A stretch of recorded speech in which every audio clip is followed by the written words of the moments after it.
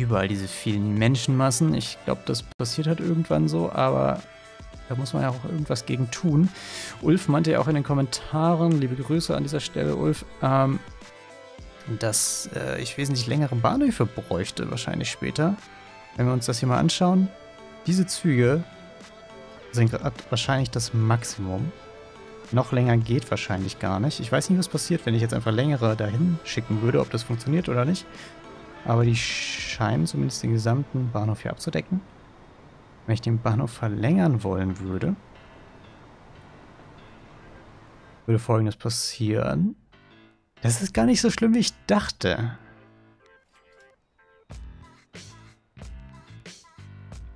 Das kann man ja schon fast machen. Das verlängern, aber dann müsste ich, und das ist glaube ich ein bisschen mehr Aufwand, noch den Bahnhof hier verlängern. 320 Meter ist das Maximum. Ach, das sieht doch machbar aus hier.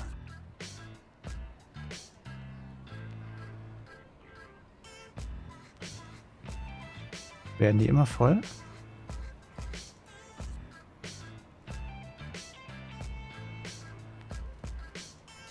Hm, ziemlich voll. Wie sieht diese Stadt jetzt eigentlich aus aktuell?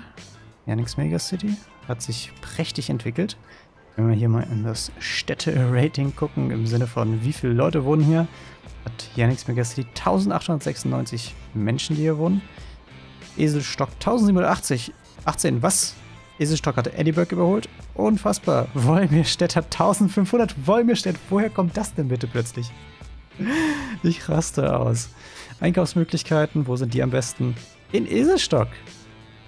Ah, das erklärt wahrscheinlich einiges. Dann kommt Edinburgh und dann erst Yannick's Megacity. Arbeitsplätze. In Eselstock. Eselstock hat einfach die besten Bewertungen in Sachen Einkaufsmöglichkeiten und Arbeitsplätzen. Dann kommt Edinburgh, Green Offenbach. Yannick's Megacity stinkt ein bisschen ab, was Arbeitsplätze angeht. Ha. Ob man das irgendwie anpassen kann? Ich meine, Einkaufsmöglichkeiten, Arbeitsplätze. Schlecht. Ja, die haben nichts, aber hat Eselstock irgendwas, dass hier gut mehr Arbeitsplätze sind? Nee, überhaupt nicht. Es gibt keinen Grund, weshalb Eselstock mehr Einkaufsmöglichkeiten und Arbeitsplätze hat. Keinen Grund. Alter, die sind ja wirklich durch die Decke geschossen. So, also die Idee ist, hier diesen Bahnhof zu verlängern. Das sieht ja relativ machbar aus. Schauen wir uns das mal hier in der Vorschau an. Ich hoffe, ich zerstöre mir nicht die Linien, die ich hier habe. Okay, hier würden ein paar Häuser zerstört werden. Das gehört halt dazu. Aber es würde sich langfristig sehr lohnen. Ich müsste natürlich alle Bahnhöfe vergrößern. Auf dieser Linie. Hier geht das auch noch.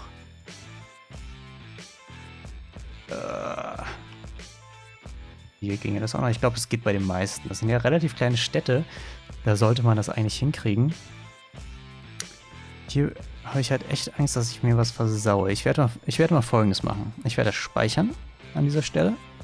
Season 2 sind wir. Und ähm, ich werde das jetzt mal testen. Wenn es gar nicht geht, würde ich das dann nächstes Mal an der anderen Stelle wieder weiterspielen. Oh mein Gott, wie viele Leute hier rauslaufen. Sehr schön. Ähm, ja, ich glaube, mir bleibt ja nichts anderes übrig, als hier die Schienen einzureißen. Das Ding zu verlängern. Nicht wahr? Ich kann jetzt nicht einfach hier das Ding verlängern. Nee, gut. Das heißt wirklich, die Schienen müssen hier alle weg. Ich sehe hier auch, dass ich hier so an der einen oder anderen Stelle. Ähm, sorry, bin gerade kurz abgelenkt. Ich habe ja an der einen oder anderen Stelle hier so Weichen, die müsste ich da nochmal nachzeichnen. Aber das kriegen wir hin. Und hier sieht das super easy aus. Ich hoffe einfach, dass die auf der richtigen, ähm, auf dem richtigen gleich stehen bleiben, die Züge. Let's do this.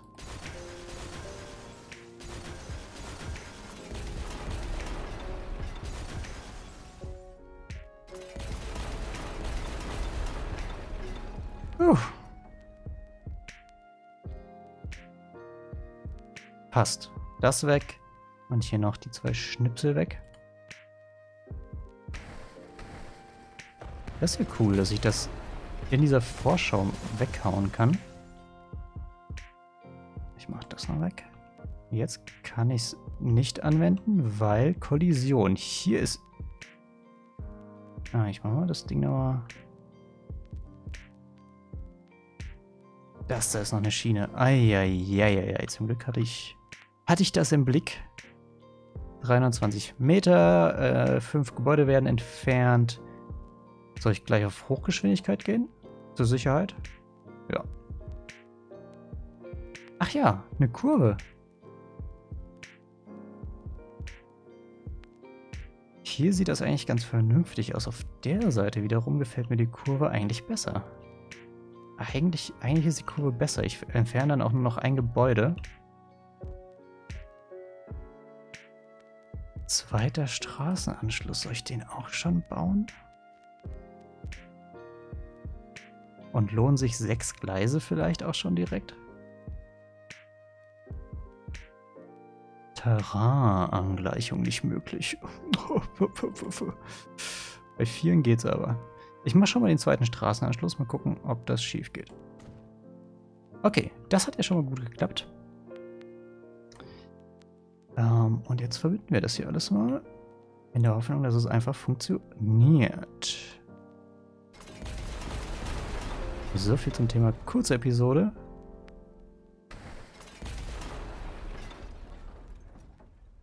Komm, ich verlege hier auch direkt die Hochgeschwindigkeitsgleise.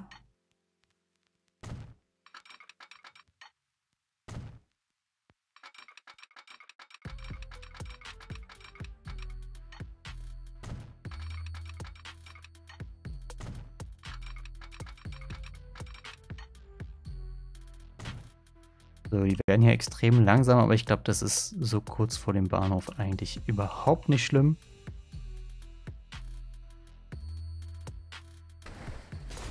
Oh, hier sieht es sehr kompliziert aus. Ich hoffe, das klappt einfach alles, indem ich da einfach alles neu verbinde. Nee, nicht so viel entfernen, bitte. Na gut. Neue Gleise braucht das Land neue Gleise in die Hand. Oh, was sind das denn für Songs? Wiederholen sich auch mittlerweile.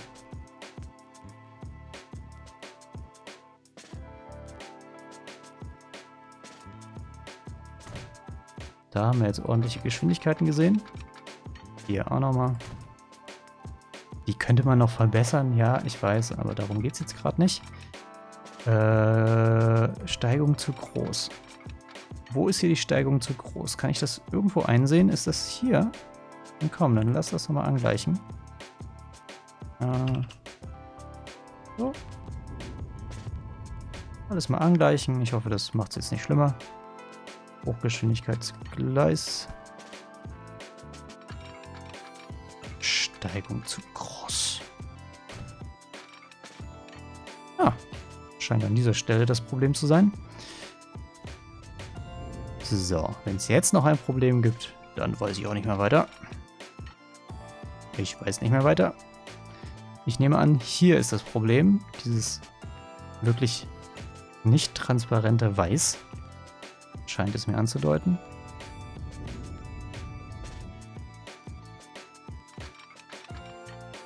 Dann werde ich doch einfach mal das abreißen das hier weiter glätten.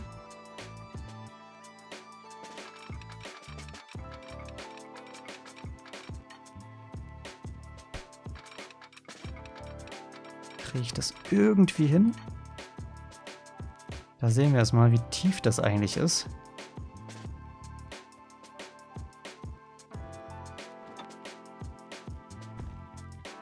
Höher kriege ich nicht.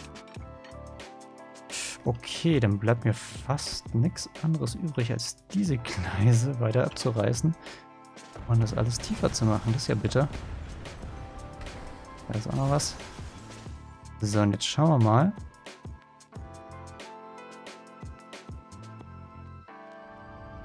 Erstmal gleiche mir alles an, damit es hier alles schön aussieht. Dann vielleicht reicht es ja schon. Ich glaube es ja nicht, aber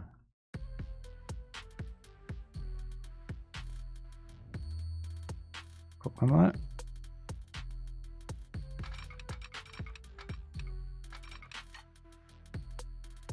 Okay, das kriegen wir hin. Auch das kriegen wir hin. Und jetzt ist es wichtig, dass wir diese Gleise dahin kriegen. Ich versuche es mal maximal hier rüber zu ziehen. Das sieht gut aus.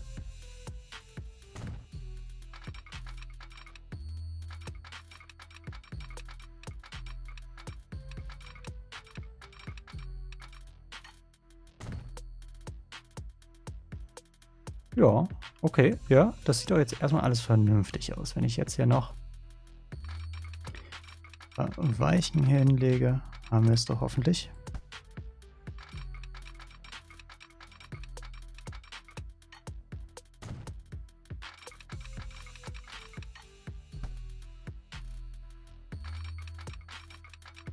Oh, das klappt sogar. Ich bin ganz irritiert.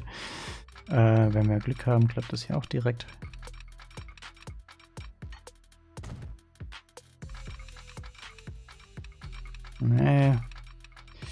Nicht ganz. Nicht ganz.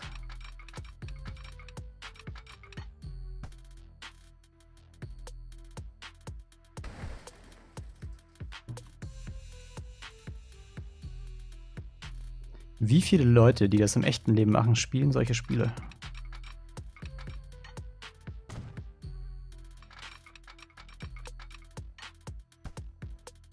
Ernst gemeinte Frage. Genauso mit so Sachen wie dem Farming Simulator. Spielen Leute Simulatoren innerhalb ihres eigenen Berufskreises? So, zack, zack, zack. Man kommt von da nach da, von da nach da.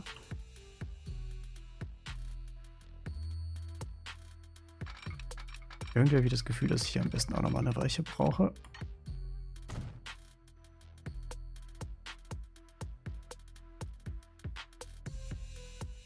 Ja, gar nicht schlecht gedacht. So. Ähm. Mhm. Mhm. Und wenn wir jetzt noch Fahrtsignale hier hinsetzen. Wenn es dann hier irgendwo möglich ist.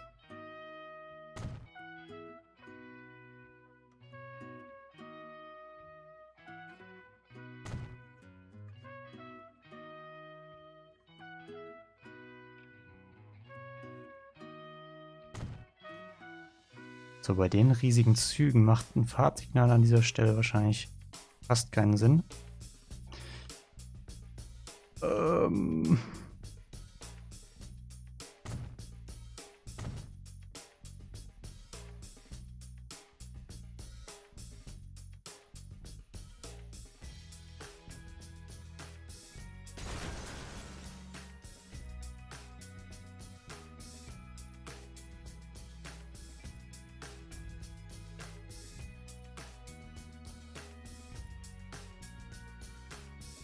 Aber ich weiß, wo es noch Sinn ergibt. Einmal kurz vor dieser Straße, aber auch am besten auf der Seite. Und dann hier auf dem Weg noch ein paar hinsetzen. Ich habe so das Gefühl, dass die Züge hier relativ oft lang fahren. Und relativ viele Züge. Damit können wir vielleicht die Wartezeiten ein bisschen besser überbrücken. Ja, das sieht ordentlich aus. Äh, schon fast zu ordentlich. Und jetzt habe ich die Hoffnung, dass es einfach alles funktioniert. Terminals mal abchecken. So, Terminal 1, ne 2 ist das. Da fährt der Zug aus Yannick's Megacity ein, äh, aus Edinburgh ein. Das heißt, der kommt von hier und fährt dann hier rein. Okay, Zug Nordring, das muss ich mir, glaube ich, anders mir anschauen. So sieht man es viel besser. Ähm, wieso funktioniert das hier noch nicht? Brauche ich hier auch noch Weichen?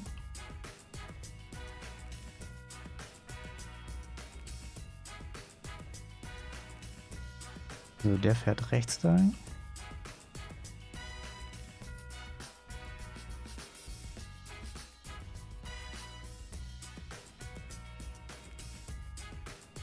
Das sieht ordentlich aus. Nur dass der Nordring, nicht der Nordring 2, der sieht noch ein bisschen... Ah, der sieht verkehrt aus, weil der hier nicht weiterfahren kann. Das kriegen wir auch noch hin. Was war das übrigens für eine dreckige Lache?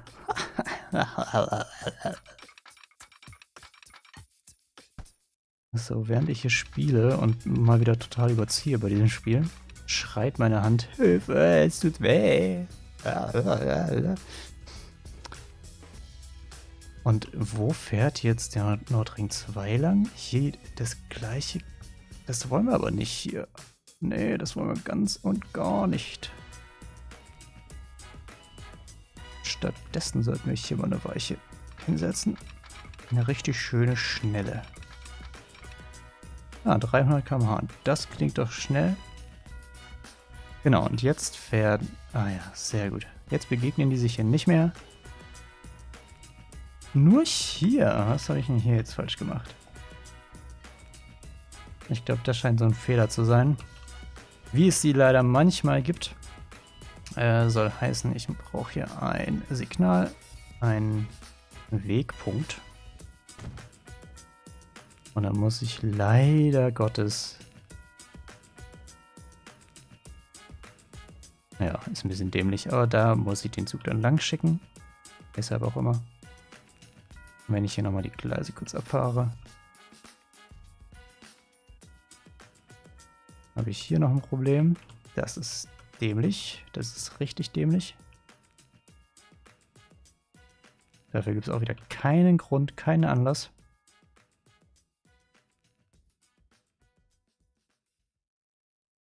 Der hier der soll gefälligst dahin. Perfekt. Und auch hier nochmal das gleiche Spielchen. Könnte die Probleme lösen, die ich gerade mit der Linie habe, oder? NSU City, auch eins. Ich nehme an, dass das alles auf 1 stehen muss. Okay, da sitzt ein Zug drauf, deswegen sieht es da ein bisschen löchrig aus. Hier sieht es gut aus. Wir fahren jetzt hier alles weiter ab. Wie ein Zug. Und wir kommen hier in Olafville an, wo es auch gut aussieht. Und dann müssten wir auch schon wieder in ja, Next Mega City ankommen. Sehr gut. Dieses Projekt haben wir doch gut überstanden. Das heißt, ah, mein, meine Zwischenspeicherung, an die müssen wir gar nicht mehr ran. Sondern wir können jetzt hier einfach auf Play drücken und schauen, dass hier wieder alles normal fährt. Und wir müssen dann, so viel zum Thema, wir sind fertig. Wir müssen dann eigentlich noch diesen Bahnhof verlängern. Das wird auch lustig. Wir schauen uns das mal ganz kurz an hier.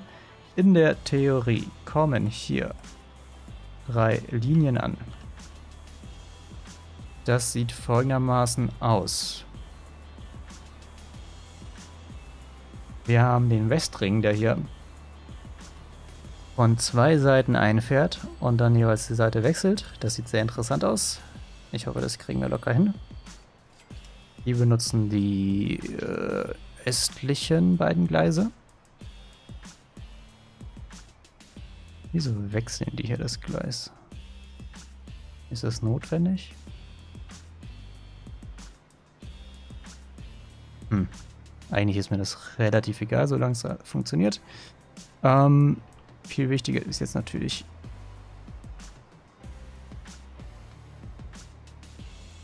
dass wir hier das Terrain, Terrain angleichen, wie man so schön sagt.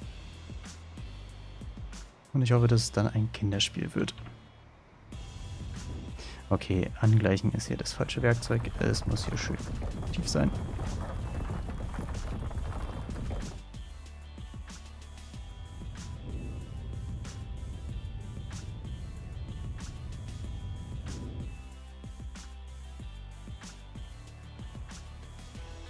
Tiefer, tiefer.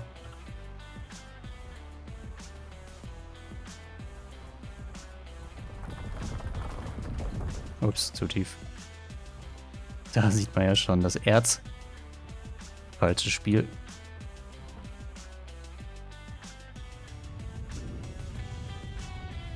Ah ja, so. in groß macht dieses Angleichenwerkzeug schon wesentlich mehr Sinn. Und jetzt kommt der große Spaß. Wir pausieren wieder. Hier sind auch gerade keine Züge. Perfekt. Jetzt wird hier alles abgerissen.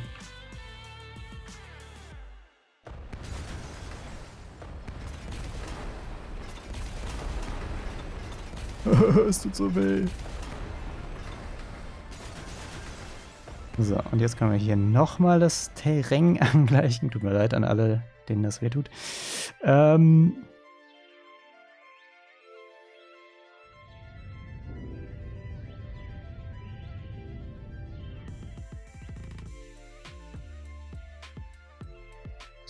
Wir uns das mal an.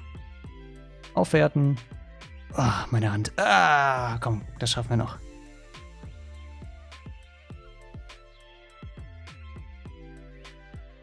Oh nee. Nee, nee, nee. Schön in dieser Kurve bleiben. Drei Gebäude werden dort entfernt, weshalb auch immer.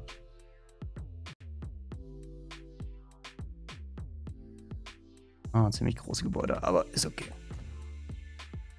Das hat gut funktioniert. Ah, ich habe was vergessen. Hoff hoffentlich klappt das noch alles gut. Hochgeschwindigkeit. Gleise bleiben so. Zweiter Straßenanschluss. Wo wäre der denn dann? Da vorne.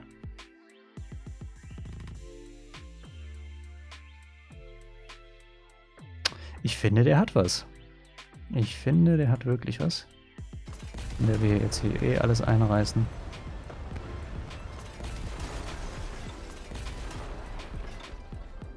Alter. Terraforming vom Feinsten. Ich hoffe, Scaff ist stolz auf mich, falls er das sieht. Aber gezwungenermaßen. Terraforming vom Feinsten.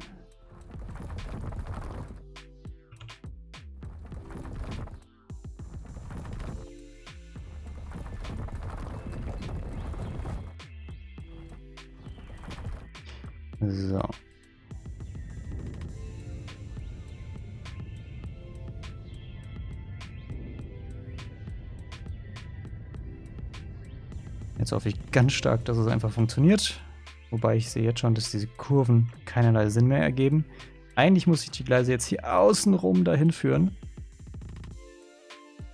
Okay, ich glaube, es gibt einen Cliffhanger. Das hier werde ich beim nächsten Mal weitermachen. Sonst geht es nicht weiter. Sonst läuft hier nämlich gar nichts mehr, wenn wir uns hier mal die Zahl anschauen. Ich hoffe, ich kann es jetzt einfach speichern. Und nichts geht verloren. Nichts geht verloren. Wir haben ansonsten da noch genug Autosaves im Hintergrund, auf die wir sonst noch zurückgreifen könnten. Also, vielen Dank fürs Einschalten. Falls ihr noch Tipps habt, ich habe ja genug Fragen gestellt in dieser Episode. Schreibt sie doch bitte in die Kommentare. Ich freue mich da über Tipps. Denn das ist wirklich schon eine Art von Late Game, die ich in diesem Spiel noch nie erlebt habe. Mein erstes Mal. Und jetzt könnt ihr mir gut dabei helfen. Schreibt einfach rein, was ich machen kann. Sagt mir auch ruhig schon, was ich gut mache, damit ich einen gewissen Überblick habe, was denn auch schon funktioniert und was normal ist. Ähm, auf jeden Fall Dankeschön und bis zum nächsten Mal, wenn es wieder heißt, ich spiele Transport Fever. Macht's gut. Ciao.